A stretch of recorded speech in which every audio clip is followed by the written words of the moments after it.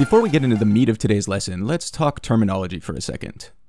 For the purpose of this and the following tutorials, MongoDB is our database server, not our database. Within MongoDB, you will find one or more databases. For example, I might have a CloseBrace database that contains all of the data that closebrace.com uses, tutorials, users, etc. On the same MongoDB server, I might also have other databases in which I keep data unrelated to CloseBrace, such as the data for my current freelance clients applications. Additionally, MongoDB typically generates the admin and test databases by default when you install it. We're going to ignore those for now, though I'm happy to cover MongoDB administration slash authentication if people want it.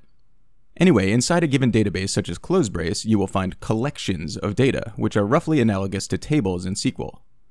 A lot of people use these collections to form pseudo-relational structures. For example, you might have a users database which contains your user objects, and those user objects might refer to ID numbers from a books database, indicating what books those users own.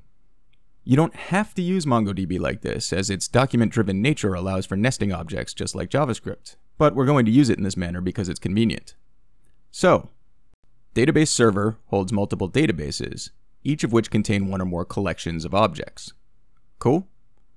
We're going to create a JSQH database and in it a users collection. An important thing to understand about how MongoDB works is that, unlike SQL databases, it's unstructured. This is oversimplifying things somewhat, but you can essentially feed it any valid JSON and it'll store the data. So here are two possible user objects.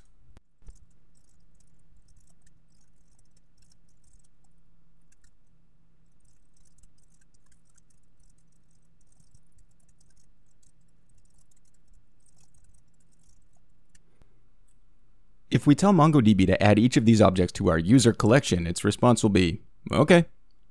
That's sometimes very useful, but it can also easily lead to catastrophic atrocious data spaghetti syndrome, or CADS, an acronym I definitely did not just make up.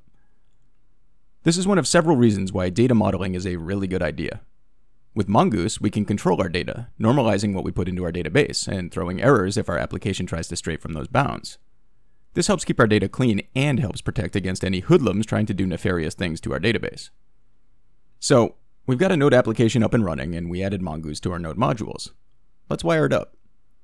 cd to wherever you're keeping your app, which, if you followed the instructions last week, will be in a mongo-test directory. Start it up with nodemon npm start, which I've already done, and then flip over to your text editor. Add that directory to your project, which again I've already done, and open up app.js.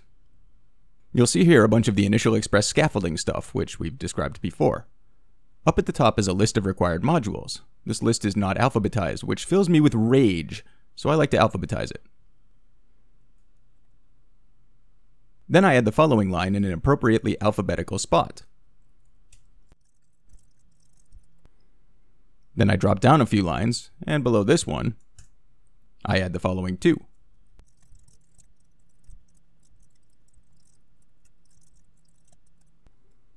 That all looks pretty great. We've connected and assigned a variable to our connection that we can pass around our app and reuse. Now let's add a couple of functions that Mongoose recommends for testing and error catching. Add a padding line if you so choose, and add this code.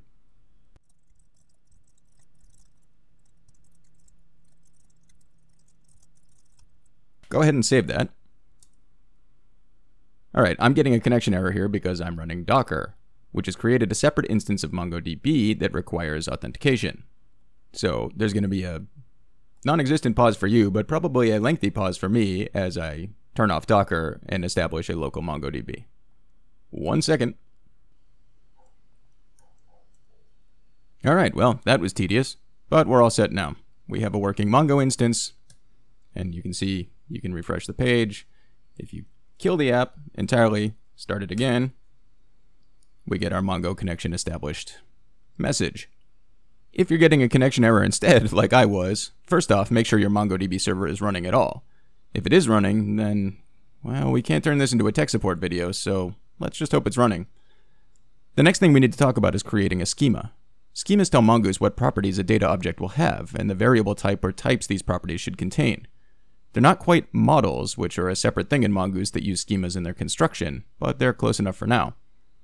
We're going to keep things very simple for now. First, open slash routes slash users.js. And after the two require lines, add this one. Below those lines, but above everything else, add this code.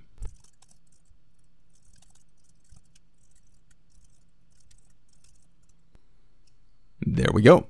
We're now telling Mongoose that the incoming data for creating a user, for the purposes of this tutorial, will include four variables, one of which is a number, and the other three of which are strings. This means if we pass data that doesn't fit this model, Mongoose won't allow it to be added to the database, although it may still create the entry with whatever data does fit the schema. Note that we're not passing an ID here. MongoDB will create a unique one for us, which is all kinds of handy. Alright, I know everyone's excited to actually create some data, but unfortunately this tutorial is getting too long. Next week, we'll create a quick form, wire it up, and show you how to check your DB to see whether it's working. See you then.